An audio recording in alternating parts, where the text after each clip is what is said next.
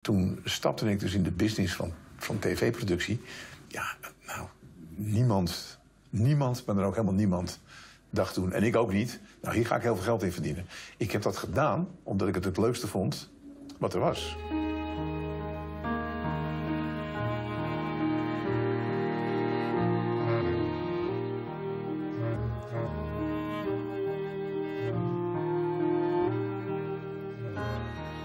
Dag dames en heren. De serie Televisie Monument probeert een eerbetoon te zijn aan de mensen en hun programma's die de afgelopen 70 jaar gemaakt zijn. Dit is onze 125ste kroniek. Een bijzondere uitzending met een man die zelden of nooit een interview over zichzelf geeft. En alhoewel hij tot de belangrijkste mensen van het medium behoort, blijft hij zelf liever buiten beeld. Een televisiemonument over heel de mens John de Mol. Een man die een tikkeltje verlegen wordt wanneer het over hem zelf gaat. Ik vond televisie in het begin vreselijk. Omdat vergeleken met radio, televisie zo'n gecompliceerd medium is. Nou je ziet zelfs voor een simpel interviewtje als dit... wat hier allemaal om ons heen staat aan lampen en camera's. Uh, ik vond het ingewikkeld. Ik vond het... Uh, gedoe. Uh, totdat ik uh, bij de Tros uh, te horen kreeg dat ik als aankomend assistent-producer... met een grote producer, Toon Gispen, de Miss Holland-verkiezing mocht gaan produceren. Onze kandidaten die hebben niet stilgezeten, want ze hebben zich verkleed in badpak.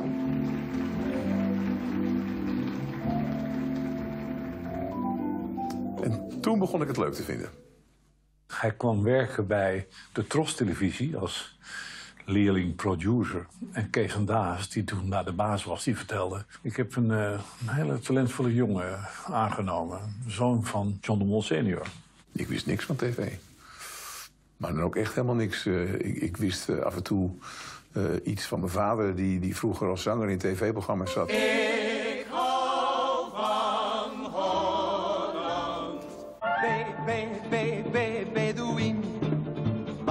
Heb ik jou eerder gezien? Waar ik wel eens meeging, maar daar kan ik me bijna niks meer van herinneren. Dus ik wist niks. En hoe heb je het dan geleerd daar bij de Tros?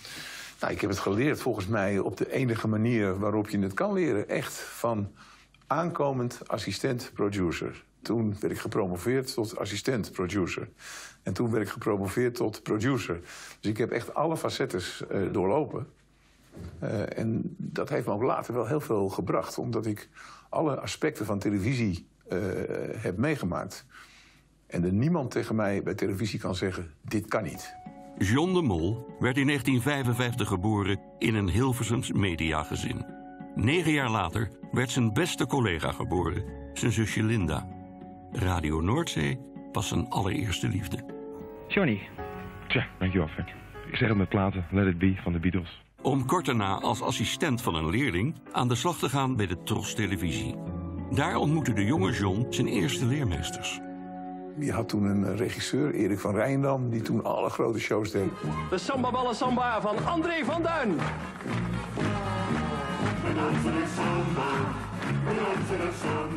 Ralf Inbar zat daar toen bij de Tros. René Stokvis zat bij de Tros toen de tijd.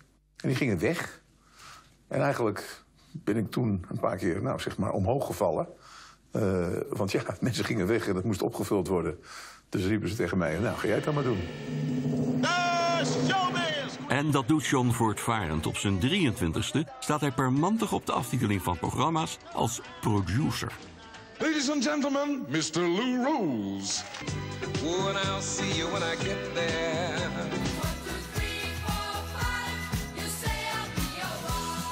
In 1976 trouwde hij met de tien jaar oudere zangeres Willeke Alberti. Het huwelijk liep na vier jaar op de klippen. Kijk, daar boven vliegt de leeuw, die wil wel even met je dollen. En John kwam regelmatig mee om te zitten te kaart in de, in de kleedkamers. En morgen is er weer een dag, beleef die met een lach. Je had in die tijd Joop van den Ende. En die had uh, uh, een hele grote theaterafdeling, uh, waar ook onder het andere André van Duin in zat. En vanuit dat theater, theaterregistraties van André, deed Joop toen al tv-shows. ja, toen had ik iets van, dat wil ik. Dat is waar ik naartoe wil. Maar ik heb natuurlijk een enorme vergissing gemaakt, want die markt was er helemaal niet.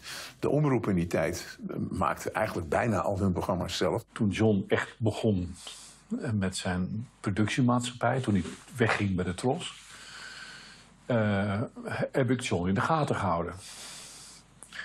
Moet je trouwens altijd doen. Je moet altijd naar, je, naar de competitie kijken. En, eh, en John was in het begin helemaal niet zo succesvol. Ik ben toen artiestenmanagement erbij gaan doen. Ik ben eh, evenementen erbij gaan doen. Om financieel mijn hoofd boven water te houden. omdat op televisiegebied...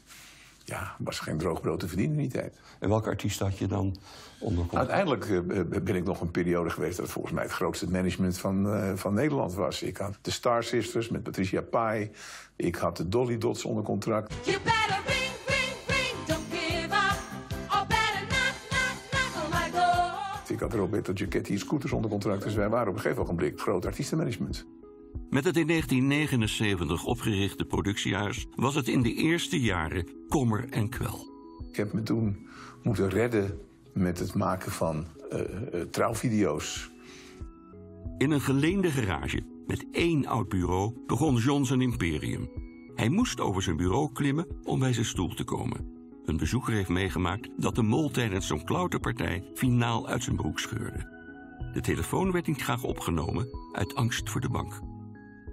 Ik heb ook in die periode, ik denk wel drie keer, een extra hypotheek op mijn huis moeten nemen. Eh, om eh, ja, de negatieve balans bij de bank weer, eh, weer recht te trekken. En de vierde keer was zelfs dat niet meer mogelijk. want de, de hypotheek was hoger dan de waarde van het huis, denk ik. En toen is Willem van Kooten in beeld gekomen. Ja, hij was net een jaar bezig of zo. Geen enkele bank wilde John de Mol ook maar één gulden lenen. Nul. En toen kwam ik in gesprek met Willem, die ik al wel kende. En die zag iets in mij kennelijk. En die heeft toen 50% van de aandelen van John de Mol Producties gekocht in die tijd. En het geld wat hij daarvoor betaalde, dat heeft hij niet aan mij betaald, maar dat ging in het bedrijf. En daarmee is eigenlijk de, de financiële basis gelegd, waardoor ik even door kon zonder steeds bang toe te zijn dat de bank belde. Hij is een van de weinige mensen die ik ontmoet heb in mijn leven... die en creatief is en goed kan rekenen. Tien programma's op een dag opnemen van een half uur. Begrijp je? En zo is hij groot geworden. John is groot geworden dankzij zijn uitvinding veel voor weinig. Mag je stellen dat als hij dat niet zou hebben gedaan, de kans dat jouw leven totaal anders was gelopen eh, aannemelijk is? Nou, dat het anders in, in die periode anders zou zijn gelopen, dat denk ik wel. Eh, maar ik denk ook als ik bij wijze van spreken failliet zou zijn gegaan. eh, en ik ben er heel trots op dat ik nog nooit in mijn leven failliet ben gegaan. Ik heb altijd, altijd iedereen netjes betaald. Eh, ja, dan denk ik toch dat ik wel weer opnieuw begonnen zou zijn. Ik denk dat dat een moeilijke, eh, moeilijke vraag is om te beantwoorden. Maar neem niet weg dat Willem in die tijd de enige was die kennelijk iets in mij zag en een bedrag in, in dat bedrijf gestopt heeft waar banken absoluut niet eh, aan wilden. Ik ben echt een bewonderaar vanaf het eerste uur van John. Wat is mijn kracht? Ik denk dat ik eh, redelijk snel in een ogenschijnlijk chaotische situatie eh, de hoofdlijnen kan eh, oppakken en prioriteiten van details kan onderscheiden, eh, waardoor er vrij snel iets concreets ontstaat. De eerste ronde. De Willem Ruis Lotto Show. Ganzenborden zijn we vergeten. Hij was zijn gehele leven een extreem harde werker en een control freak. Succes is geen toeval, wist hij al op jonge leeftijd. Een tackle die de kluif nooit meer loslaat. De eerste zeven jaar draaide zijn bedrijf met verlies. De eerste successen waren programma's over popmuziek. aflevering van Tros Popformule.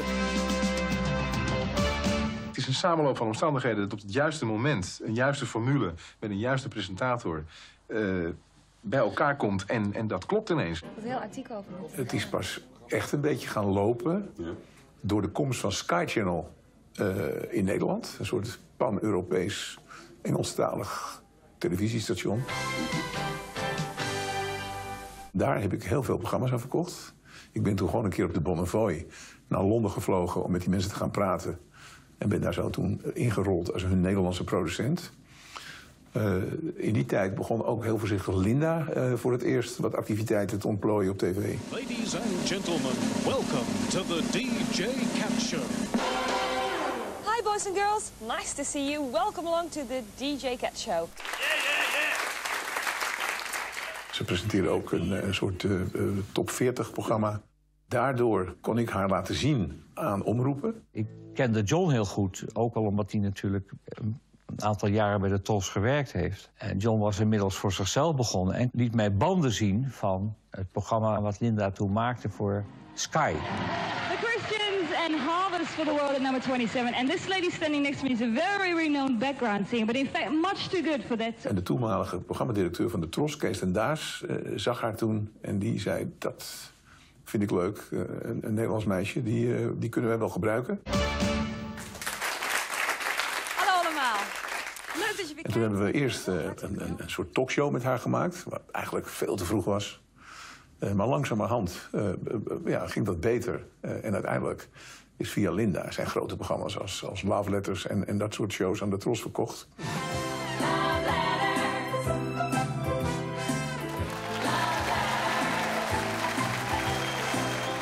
En toen dat vertrouwen kwam, heb ik ook ontdekt dat je met eh, drama, wat toen de tijd heel duur was, eh, eh, op een andere manier kon produceren, waardoor het wat betaalbaarder werd. Dat hebben we toen helemaal ontwikkeld voor Medisch Centrum West. Waarin ik toen het geluk had dat ik een, een hele vleugel in het Zuiderzeeziekenhuis in Lelystad kon, nou, huren is een groot woord, bijna voor niks kon krijgen omdat het leeg stond. En ze alleen al blij waren dat het schoongehouden werd en gebruikt werd. En daar mochten we dan in de weekenden de operatiekamers gebruiken voor de operatiescènes. eh, want dan waren ze toch leeg. En dat leidde tot een productiemethode die toen eh, ja, voor die tijd heel betaalbaar drama opleverde. En dat vervolgens dan ook nog eens een keer eh, heel goed scoorde. Als die serie niet goed was geweest en de Tros had redenen gehad om hem niet af te nemen, dan had het me 4, 4 miljoen gulden gekost. Dan was het heel slecht afgelopen, hier en daar, met John en ondergetekende. Maar hij had een enorm doorzettingsvermogen. En, eh, en de eerste keer dat ik dat echt, echt goed merkte... was dat Kees van Daas, directeur van de Tros Televisie, tegen mij zei... en ik had daar gemaakt de fabriek, dossier van Hulst... eh, nou, gro- grote dramaseries die echt mega kijkcijfers hadden. Jij krijgt deze keer niet dat timeslot... Want dat heb ik aan John de Mol gegeven voor Medisch Centrum West. Want die is veel goedkoper als jij. Dus toen was het de eerste keer dat ik echt merkte... ik moet hem nog meer in de gaten gaan houden. Deed dat pijn? Ja, natuurlijk. Dat, dat is toch als je als, je als bedrijf, eh, als producer... een timeslot kwijtraakt aan een ander... Wat heb ik fout gedaan? Ik heb succes, eh, enorm succes geleverd. Hoge kijkcijfers, iedereen sprak erover. Televisiering gewonnen. Voor de Tros. En dan naar John toe. Vroeger werd drama gedraaid op film. En dan eh, werd er een scène gedaan. En dan eh, werd die opnieuw gedaan vanuit een andere hoek. Dan werd die weer gedraaid. En dan werd die nog een keer gedraaid vanuit een andere hoek. En weer uit een andere hoek. En dan werd er heel lang gemonteerd. En wij hebben daar voor het eerst drama op video gedraaid. Met twee geschakelde camera's. Die ook nog eens een keer apart eh, alle scènes nog eens een keer separaat opnamen. Waardoor dat veel sneller ging. En op video uiteindelijk ook veel sneller konden monteren. We een locatie hadden waarin we in alle plafonds het televisielicht hadden gebouwd. Waardoor je s'morgens een knop omdraaide en gelijk kon gaan opnemen. Dat bracht zoveel efficiëntie in zo'n productie dat het betaalbaar werd. En ik heb daar toen ook eigenlijk wel een beetje de, de sponsoring uitgevonden. Want als je die afleveringen nu wel eens terugkijkt van Medisch Centrum West... dan denk ik wel eens, oeh, er zaten wel heel veel sponsors in. Ze is helemaal nat. Dat is het risico van die zogenaamde goedkope luiers. Deze waren echt het goedkoopst. Ja, maar die goedkope zijn uiteindelijk veel duurder omdat je ze eerder moet verschonen. Was Joop van den Ende toen je grootste concurrent? Ja, maar ik was in die periode, lag Joop met, met Joop van den Ende producties... mijlen voor op, op mij, maar ook op de rest. En, en ja, door allerlei nieuwe programma's eh, die het dan goed deden... heb ik op een gegeven moment dat gat een stuk weten te dichten. Eh, maar, maar in die tijd, in het begin, was Joop gewoon op eenzame hoogte. Ik kan me herinneren dat ik... eh, er was een vergadering van vrije eh, televisieproducenten. Ik dacht je daar zelf ook bij betrokken was. En ik stond buiten. En Jo begon toen TV10. Eh, en die zei toen al van, ik, ik laat straks een enorm gat achter bij de publieke omroep. Zorg er nou voor dat jij daarin duikt. En dat heeft hij toen briljant gedaan. Met Linda, voor de Tros. Eh dramaseries, eh, comedyseries. eh, dus hij, heeft, hij heeft toen een enorme stap gemaakt door de ruimte die ik achterliet. Maar ja, dat kun je wel achterlaten, maar je moet het wel doen. En hij deed het. Dus hij speelde dat naar jou toe eigenlijk dan? Nou, dat niet, want ik moest uiteindelijk zelf wel nog de programma's bedenken en verkopen. Eh, maar hij gaf me wel eh, ja, een, een soort richting aan, ja. Maar sprak je me die tijden wel eens of was het... Nee, niet veel. Pas toen ik zelf eh, eh, wat succesvoller begon te worden... en eigenlijk naast hem de tweede producent van Nederland werd... eh, zijn we wat meer in contact gekomen. Kijk, een, een, een televisieproducent heeft een vriend, dat is de zender.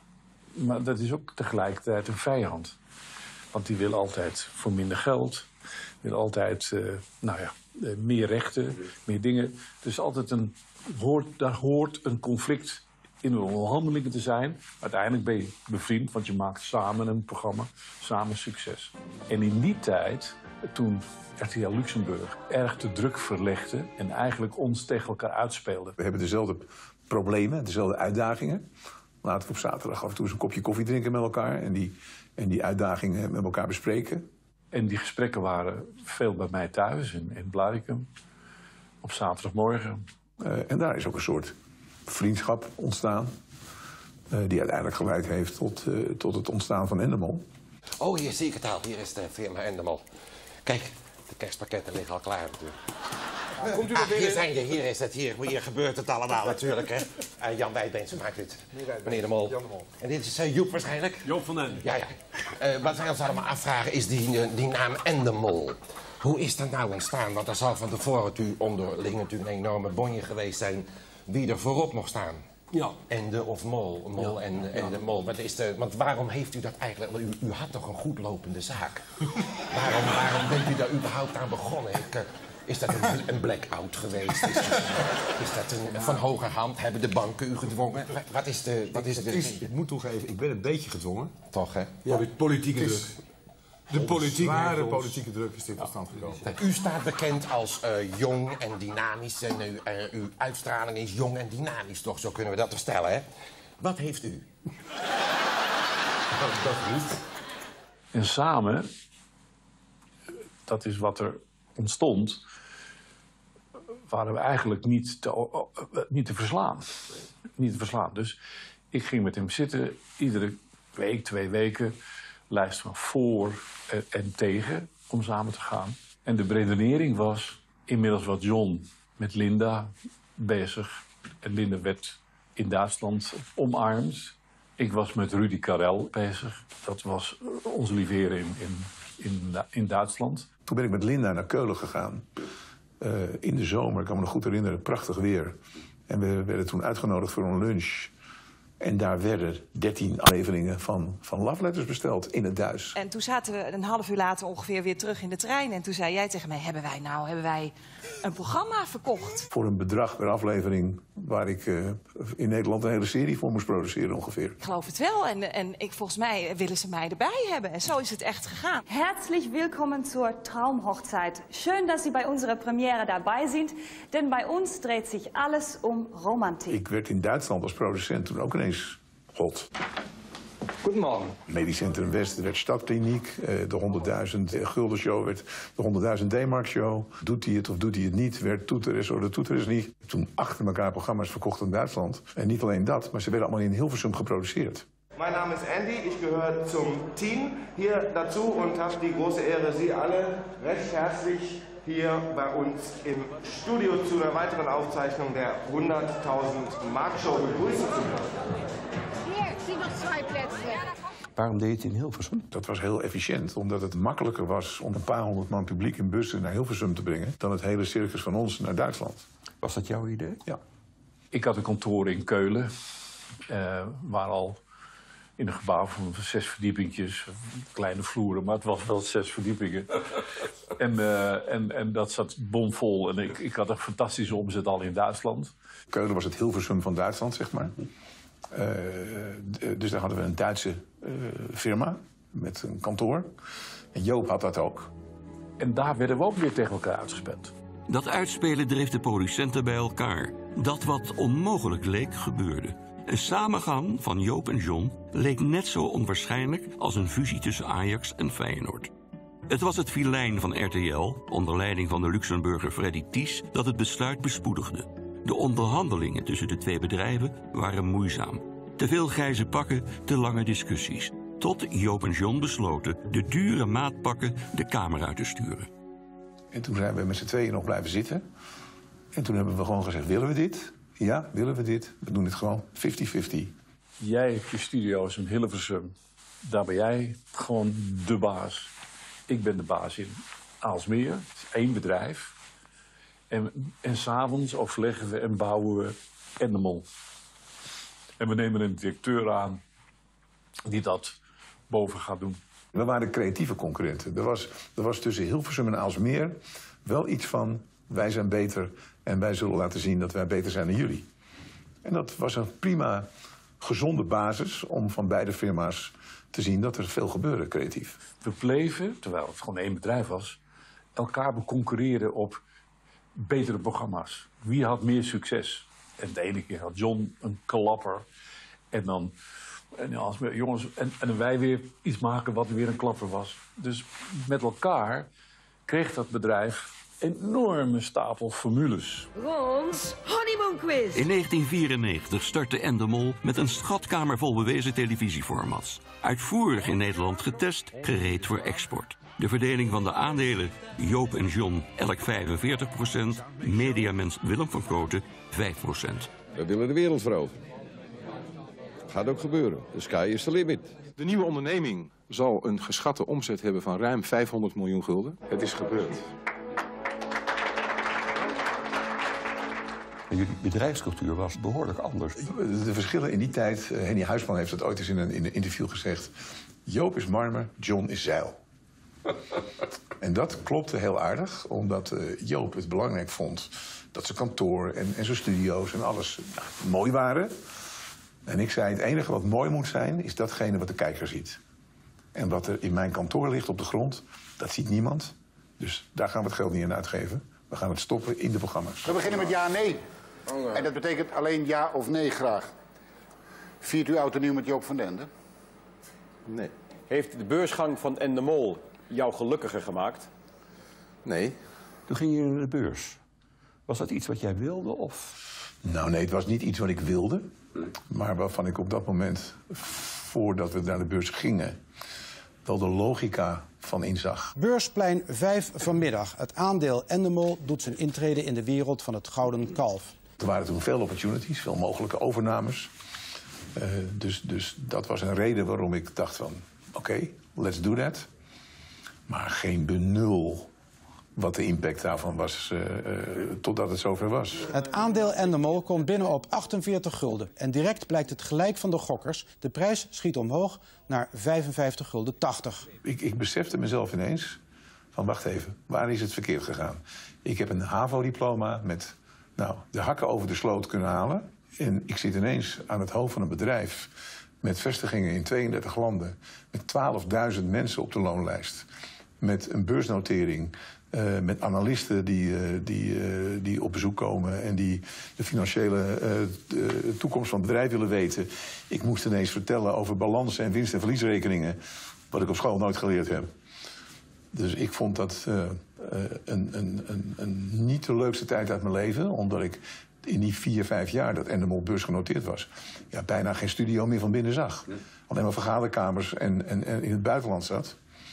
Eh, en, en ik vind dat een beursklimaat eh, ja, niet direct eh, heel veel ruimte biedt om te ondernemen. De kleine vijf jaar dat Endemol aan de beurs genoteerd was, schommelde het aandeel weinig spectaculair in waarde. Ze maakte wel ruim 40 miljoen winst. Er kwam schot in het aandeel toen het omstreden programma Big Brother werd gelanceerd. Het programma bleek een kantelpunt in het leven van John de Mol.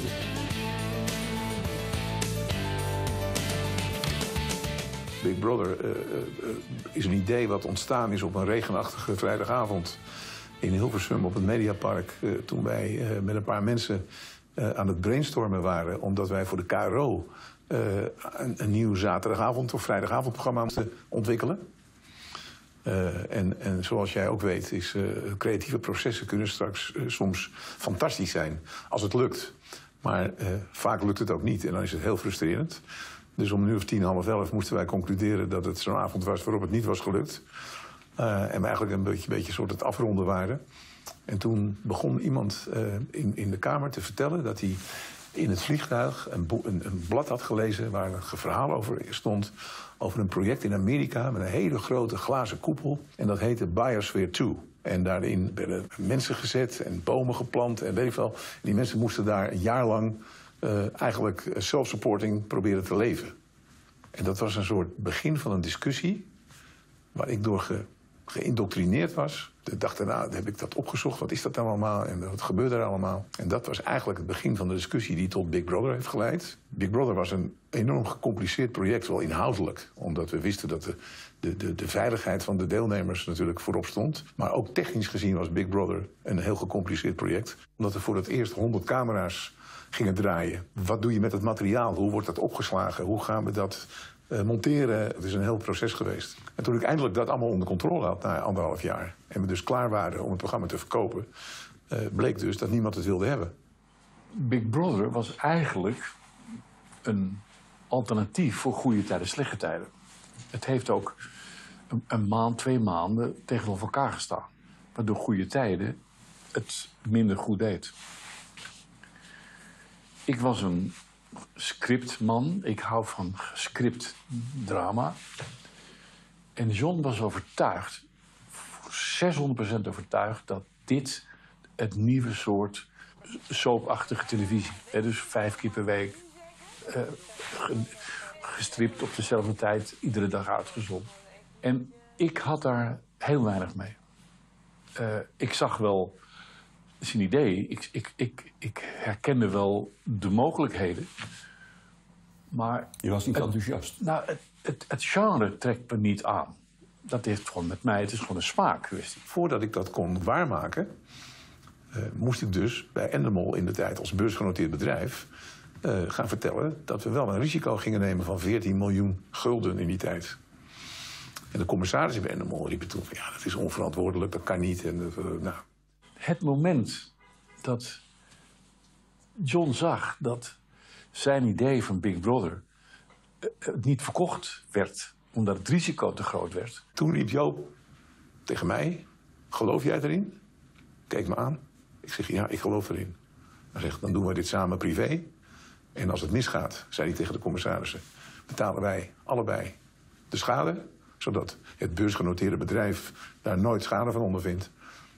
En als het een succes is, nou, dan is iedereen blij.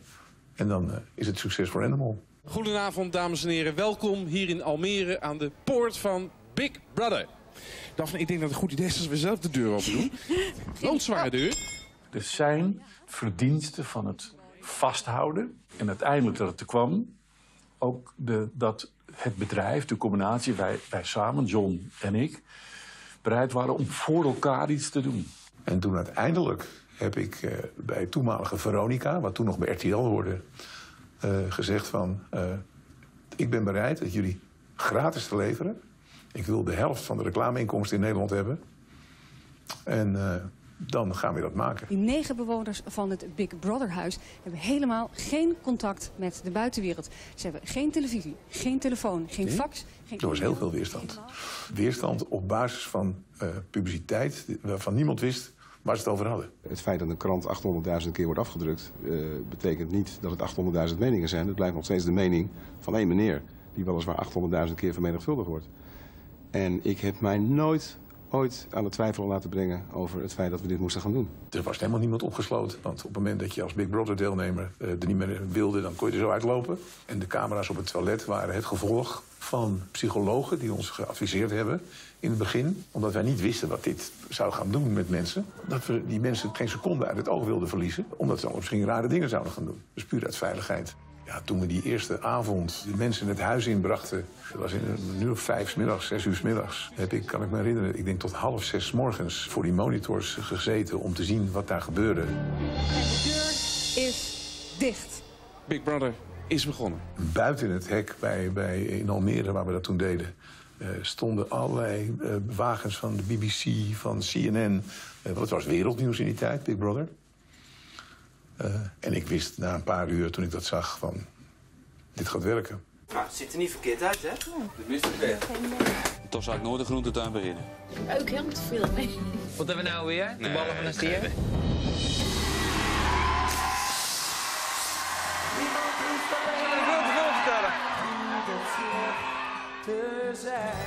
Dat het deze extreme vorm van gekte zou veroorzaken, nee, dat eh, had je niet durven dromen. En de Mol was al een sterke internationale speler. Maar door Big Brother werd ze een van de grote producenten ter wereld. In meer dan 80 landen werd het programma uitgezonden. Dus in één klap stond Endemol in de wereld enorm op de kaart. Als een van de meest creatieve, innovatieve eh, televisieproducenten. Duitsland staat aan de vooravond van een belangrijke televisiegebeurtenis. Want vanaf morgen kunnen onze oosterburen hun hart ophalen aan hun eigen versie van Big Brother. En na Duitsland zal het programma doorgaan in Spanje, in Portugal en Scandinavië en nog een paar landen. Met als klap op de vuurpijl de Verenigde Staten. Inmiddels was Endemol al een heel goed georganiseerd bedrijf... en de hele buitenlandse verkoopafdeling... die toen werd geleid door een, eh, een Engelsman, Gary Carter. En er was toen een soort beurs in Amerika, de Netpie. En eh, ik weet nog goed dat Gary Carter mij belde en die zei... eh, in het Engels dan, eh, John, wat er net gebeurde... heb ik nog nooit meegemaakt in mijn leven. Tien minuten geleden stapte hier de president van CBS naar binnen. En we zijn al nou, een week of vier aan het onderhandelen met CBS, NBC, ABC. En die pakte mij bij mijn jas en die zei, je gaat zitten. Die gaf mij een stukje papier met een pen. En die zei tegen mij, nu schrijf jij het bedrag op... wat je wil hebben voor dat programma. En dan tekenen we dat en dan zijn we klaar. En het enige wat hij toen zei, John, welk bedrag moet ik invullen?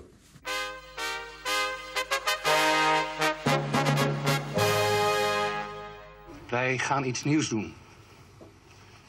Iets dat nog niet eerder in Nederland is vertoond en als ik het goed heb zelfs niet eh, in het buitenland. Wij gaan een sportkanaal beginnen. John ondernam tientallen avonturen. Niet allen waren een succes. Sport 7 was zijn jongensdroom. Daardoor verloor de NOS voor het eerst de zo fel begeerde voetbalrechten. Toen Sport 7 bedacht werd, toen was mijn filosofie... als ik nou zorg dat de grote jongens, de grote BV's in Nederland... de Philipsen, de KPN'en, de ING's van deze wereld...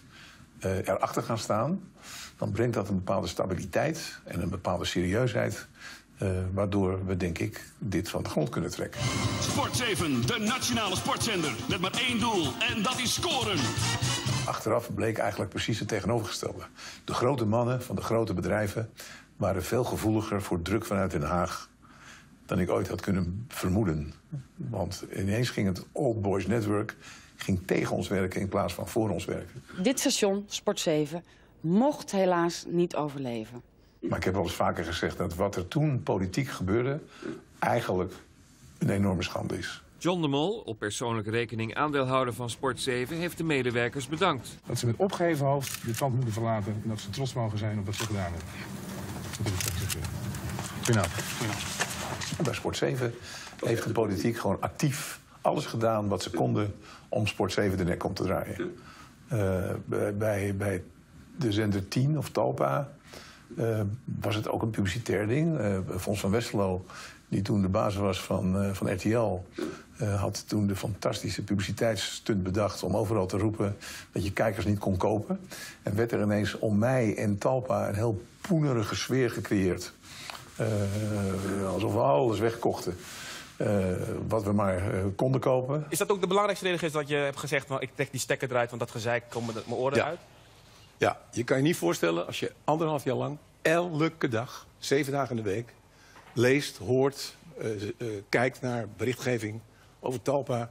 Waar als er bij ons een paperclip op, de grond viel, was het eh, nieuws en dan was het ja, in een negatieve context, altijd. En nou ja, uiteindelijk kabeldekking werd een probleem en, en noem het maar op. Het is een opstapeling van weerstand die uiteindelijk geleid heeft tot een deal met RTL... waarin we alles ondergebracht hebben bij RTL. We hebben onze nek uitgestoken en eh, John helemaal als, als, als meeste.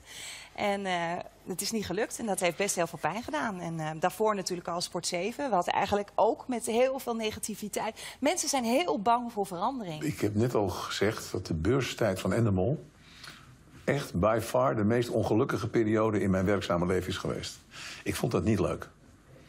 Ehm, omdat je helemaal niet meer met je vak bezig bent. Je bent ja, bezig om een beursgenoteerd bedrijf te leiden... waar A, je niet voor opgeleid bent. Dus dat kostte al mijn kracht en al, eh, alles wat ik in me had om dat, om dat te volbrengen. Eh, en ik vond het niet leuk. Dus op een gegeven ogenblik eh, heb ik eh, wel een paar keer bij, bij Joop voor het eerst opgebracht van... Ik heb ook wel eens gelezen, Joop, dat bedrijven van de beurs gehaald worden weer. Ik had een burn-out drie maanden daarvoor. En, en, en, en, John zag dat dat ongelooflijke harde werk, ik was 59 geloof ik, van wat we beiden gedaan hadden met al die duizenden medewerkers all over the world.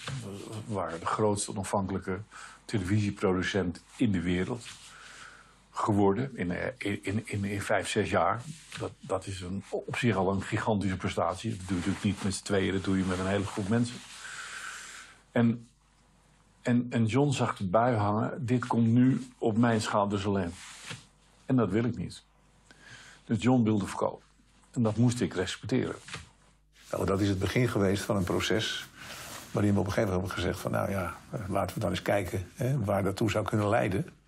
Dus in mijn ziekte, drie, vier maanden burn-out, kwam John iedere week bij mij thuis. En we spraken de zaken door. En dat is die andere kant van John, hè, dus die harde imago wat hij heeft, is een, eh, een hele lieve, sympathieke, eerlijke collega. Als, het, als, je met elkaar, als je elkaar vertrouwt. Als hij maar enigszins niet vertrouwt, dan gaat hij, in, gaat hij naar binnen toe. Wij moesten toen kiezen. Eh, ja, wat gaan we doen? Gaan we met KPN verder? Eh, de World Online is eigenlijk nooit een optie geweest. Eh, nooit een serieuze optie geweest. En toen hebben we uiteindelijk voor Telefonica gekozen. Omdat Joop toen zei... als we dit gaan doen, is voor mij een mooi moment om een stap terug te doen. Dus, dus die zei tegen mij, jij moet door. Dus ja, jij moet maar kiezen. En jij koos? En ik koos voor Telefonica. Mag ik vragen wat de argumenten waren? Telefonica kocht het bedrijf in één keer helemaal. En bij KPN zaten daar nog allerlei eh, stappen tussen. En met Telefonica kon de deal in één keer gedaan worden. En in één keer alles van de beurs. Dat betekende eh, dat John, dat was onze overeenkomst, nog vijf jaar moest doorwerken met Telefonica. En ik, eh, ik, ik werd commissaris, maar ik was vrij in wezen. Ik moest twee jaar wachten voordat ik weer activiteiten moest, mocht ontplooien. Dat is een, een enorm moment geweest van een succesvolle ondernemer zijn. Hij op zijn manier, ik op mijn manier en samen. Nog nooit was iemand in Nederland in één klap zo rijk geworden. In 2000 toucheerde John 3 miljard gulden. De man die zijn leven lang meende dat je met het maken van televisieprogramma's niet rijk kon worden, overtrof zijn eigen verwachting. Word je heel rijk? Nee, dat is onmogelijk in Nederland. Als ik, eh, als ik de programma's zou maken die ik nu in Nederland maak in Amerika... dan zou ik heel rijk geweest zijn, ja. Nou ja, ik doe alles wat ik wil doen. Niet wat ik kan doen. Eh, dan zou ik een heel raar leven gaan leiden, denk ik. Maar ik doe alles wat ik wil doen. Alleen wat ik wil, ja, is niet zo buitensporig. Eh, is niet, eh, ja, ik heb geen garage met twaalf auto's. Of dat, dat, dat interesseert me allemaal niet zo. Wat ik er leuk aan vind is, aan je financiële onafhankelijkheid, is dat ik dus niet meer naar een bank hoef om, te doen, om iets te doen waar ik in geloof. Als ik er ergens in geloof, ja, dan hoef ik met niemand te overleggen. En dan doe ik het gewoon. En dat is eigenlijk de grootste rijkdom die, eh, die mij in ieder geval de betekenis van geld heeft gegeven. Er zijn mensen die gek worden van geld, maar dat is jou totaal niet overkomen. Nee, en ik moet je zeggen dat... De, ja, ik heb makkelijk praten, want je hebt het. Maar ja, voor, voor mij is geld nooit de drijfveer geweest. Want toen ik mijn ontslag nam bij de Tros... ben ik een avontuur ingestapt. Waar, waar nou, wat ik al net zei, mijn ouders wakker van lagen. Want ineens had ik geen vast salaris meer. En moest ik het allemaal zelf gaan verdienen. En toen, toen stapte ik dus in de business van, van tv-productie. Ja, nou, niemand, niemand, maar dan ook helemaal niemand, dacht toen, en ik ook niet, nou hier ga ik heel veel geld in verdienen. Ik heb dat gedaan omdat ik het het leukste vond wat er was. En, en pas jaren later is daar ineens een markt ontstaan... eh, waarin bleek dat je met televisie maken ook nog geld kon verdienen.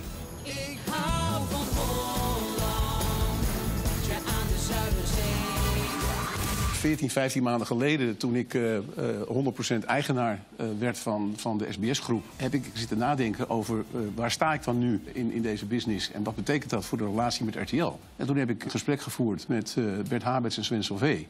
En heb gezegd, ja jongens, er gaan dingen veranderen. Ja, allemaal leuk en aardig die dansjes, jongens, maar we moeten gaan. Lekker gewoon een paar jaar bouwen aan een mooi mediabedrijf. Hoeveel jaar?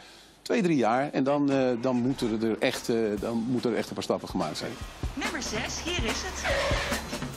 Nou, ben ik tevreden. En dan ben je de derde zender van Nederland. Niks mis mee. Want ons businessmodel is er ook op gericht dat het kan. Samen met je zus. Precies. Hartstikke leuk. Leuk is dat? En mijn zoon. We gaan hier mooie weekenden beleven. Dan gaat de buurt. Het, het is een beetje aan het swingen, hè, heb ik het gevoel.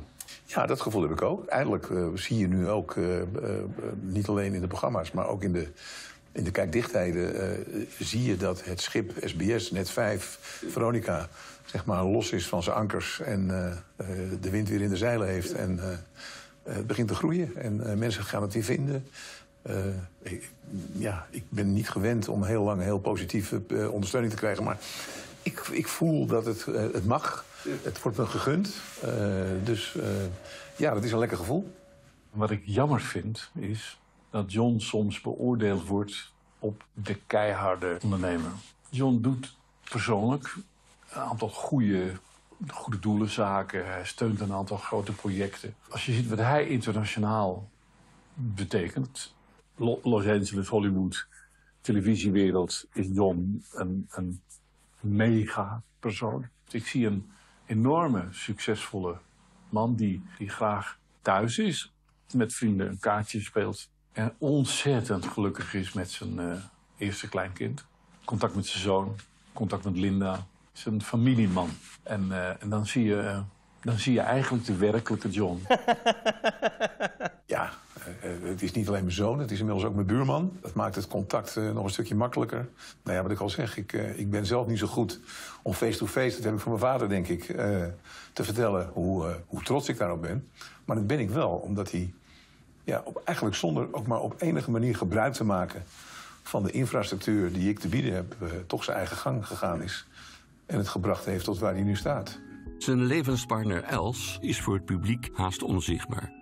Toch zorgt zij al meer dan 33 jaar voor rust in zijn privéleven. Je zei van, ik vind het heel belangrijk om aan te geven vandaag de rol van Els, zijn vrouw. Waarom, wil, waarom vond jij dat zo belangrijk, Johnny? Ehm, nou, sowieso omdat we een keer eh, gezegd hebben. Het. Ja, Els is het cement van onze familie, zeggen Ja. wij altijd. Zij zorgt er al voor dat als iedereen heel erg druk is, eh, dat er zo nu en dan zegt ze, nou is het klaar, nou gaan we gewoon even afspreken. En eh, z- zij houdt de boel altijd bij elkaar. We hebben net ehm, een overstap gemaakt van RTL naar SBS. Wat was de reden daarvan? Nou, eigenlijk heel simpel. Mijn contract liep af. En eh, het is natuurlijk leuk om weer even wat eh, intensiever met die oude te werken. Opa nu. Ik heb wel echt weer een hele zachte, lieve man gezien eh, toen hij die kleine voor het Ja. eerst vast had. En niet wist hoe die, hoe die moest vasthouden. Hallo? Boys! Hey! Siri, bel papa. En hij vindt het ook niet erg om op zijn bek te gaan. En dat vind ik ook zo mooi aan hem. Vind jij dat wel erg om op je bek te gaan? Nou, ik vind het niet leuk om op mijn bek... Nee, ik vind het ook niet leuk. Nee, ik vind het niet erg. Ik denk dat het erbij hoort. Ik denk dat je geen grote successen kunt hebben... zonder ook af en toe op je bek te gaan. Ja, dat kan niet.